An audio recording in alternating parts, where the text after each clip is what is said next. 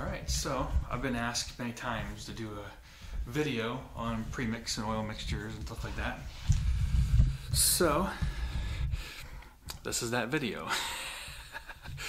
and I'm sure I'm to get a lot of nice comments on this video. So, stick around. We'll talk about premix.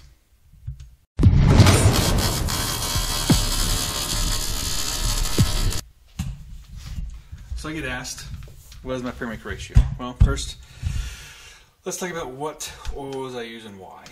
As you can see here, we have Valvoline. I like Valvoline, so I usually use Valvoline. And I don't really care too much for the brand, although like I said, I always use Valvoline. As long as it says TCW3 certified on it, that's what I use. Now why is that? That's because that's the only standard certification for two-stroke oils.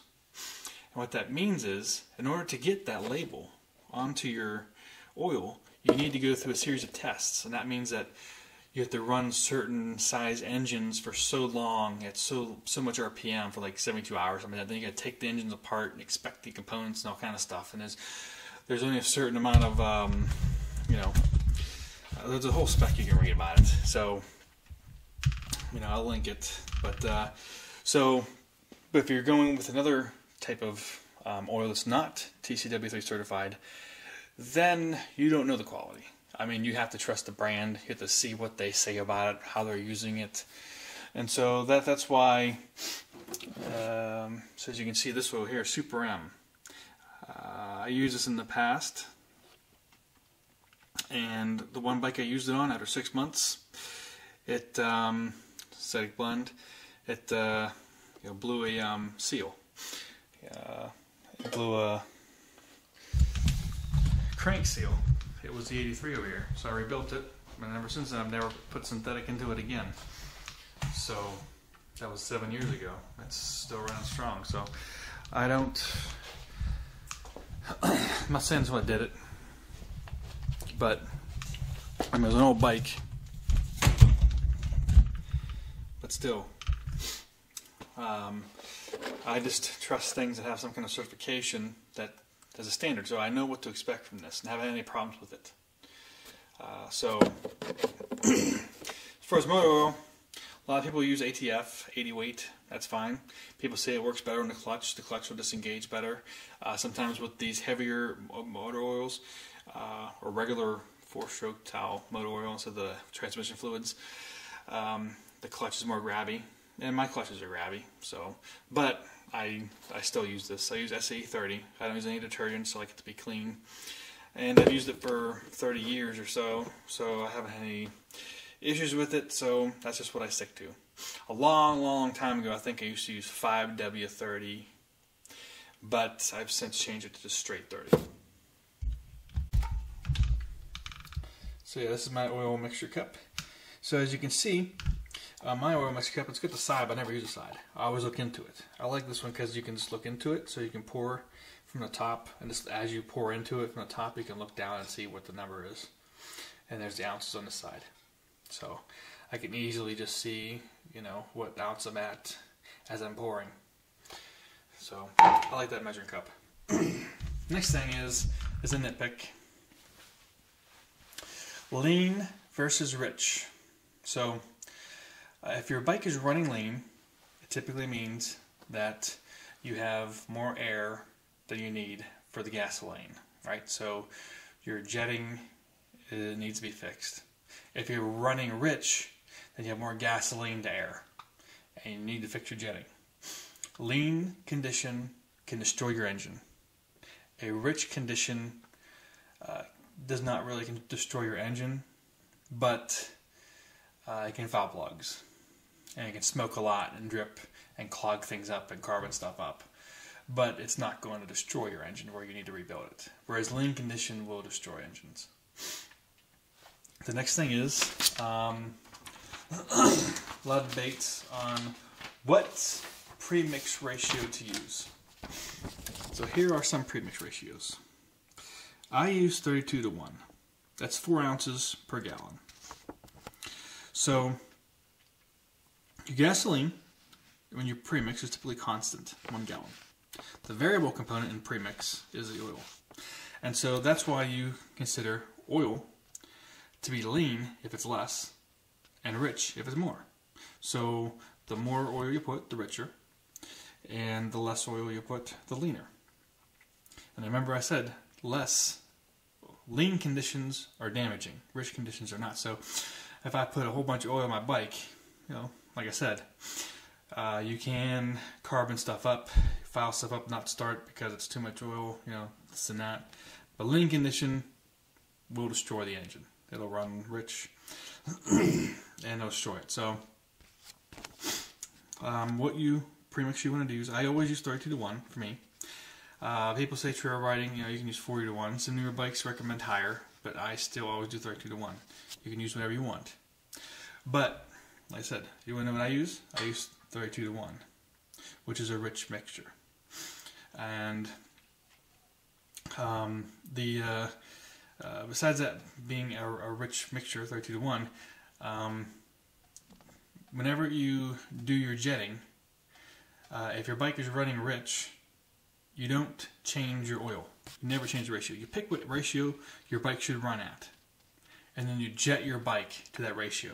You don't change your ratio to your jetting. You change your jetting to your ratio. Okay? And in the end, then your bike won't be rich or lean, it'll be dialed in. Okay? So, now a lot of people will say that uh, putting in less oil is a rich mixture. That doesn't make any sense on several fronts. Doesn't make sense because your gasoline's fixed, right? Now your whole component, your total component is variable because you're, you're varying your oil. You're mixing your oil with your gasoline. You're not mixing your gasoline to your oil. You're not saying, you know, I've got some oil here. Let me measure some gasoline for it. you're saying, I've got some gasoline, one gallon. Let me measure some oil for it. So that's one thing. It doesn't make sense because you're varying the oil. You're not varying the gasoline. In turn, you vary the gasoline because your total mixture is changed, right? You had a gallon, now you have a gallon and four ounces. You had a gallon, now you have a gallon and 1.28 ounces. So, however, I'm going to show you why, now mathematically why, saying that 60 to 1 being rich because of gasoline doesn't make any sense mathematically. And that's this last piece here. So, if you start out with 97%, 99% is only 2% more. 2.1%. I mean, it's actually 3%, but if you uh, baseline it to 99%, it's 102%, right? So it's 2% higher than 97. because the 97 is 1%, or, you know, uh, 100%. So that's 100%, and then as you increase, you get to you're only adding, there's only a 2.1% real difference between these two. Right? So you're talking about 100% gasoline, 102% gasoline. That's what you're varying by 2%, 2.1% of the overall total. The oil, on the other hand, you're going from 3% worth of the total compound down to 1%. That's a 306% difference. That's 100% is a 1, right? Up to 3, it's 306%. So 100, 206% difference there. So this is a much huger percentage difference in the mixture. 300% difference in oil versus, you know, 2% difference. So why would that so, so why would you say that changing the premix is giving you a rich gas mixture based on a 2% change, whereas the oil is a 300% change in difference? That's right, it doesn't make any sense. So mathematically, it's incorrect. So if you're going to look at this and say that it's a rich mixture, then you don't, um, you're not saying it mathematically. Most people, some, I don't know why people say this. It makes no sense. It's almost like people are trying to be smart or something, or you know, um, trying to make a play on words, or maybe they come from four strokes. So they're thinking about the gasoline, but until recently, I've actually never heard that before in my life. Growing up on two strokes, never heard anyone say that you know mixing less oil was a rich mixture. never in my life until like the past year or so. When I think I think more people coming from four strokes are coming over to two strokes now. And so these people who grew up on four strokes and always did four strokes, um, they come over to two strokes and then they make up these weird things in their mind. And one of these weird things in their mind is that a 300% difference in oil is somehow, and a 2% dif- difference in gasoline is somehow a rich mixture of gasoline. No, it's a rich mixture of oil because the oil is the bigger component that varies itself uh, a much higher percentage. So, anyhow. that is my little rant on oil.